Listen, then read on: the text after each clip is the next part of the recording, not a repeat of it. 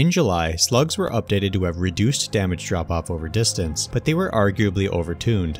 With a base damage of 80, they hit incredibly hard, but between significant damage drop off and a projectile speed matching incendiary pistol bullets, they used to be a very niche option, but not anymore. Slugs now never go below 75% damage and only reach that point at 80 meters.